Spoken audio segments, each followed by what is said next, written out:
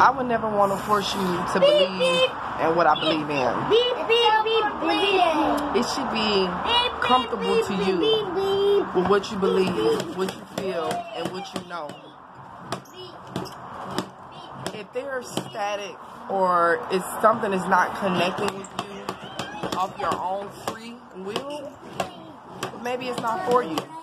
Maybe it don't match you. Loving something is not forceful. Anytime you love something that was forceful, it seemed to be either mentally or physically abusive. The God that we're supposed to love, the higher self, the universe, whatever you want to call it, whatever you feel comfortable with, it should be free will. That's where that comes from. You have your own choice or choices to the things you want to do and how you want to feel. You're entitled to that. It's, it's just incredible how many distractions are around us and how many ways it is to go. Well, if we had these many options, why do we feel forced upon each one we enter or each one we try to at least, you know, intertwine with?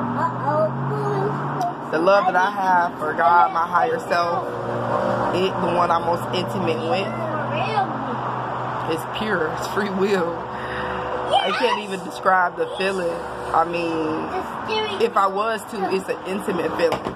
Not sexual, like, oh, I'm gonna have sex with this, this thing. It's more like, it's more like after the sex, after the great news, after somebody made you happy, after you received the gift. It's, it's, it's that overwhelming feeling that calms you and makes you smile and make you happy every time you think about it. It's that fulfillment after the goodness have occurred.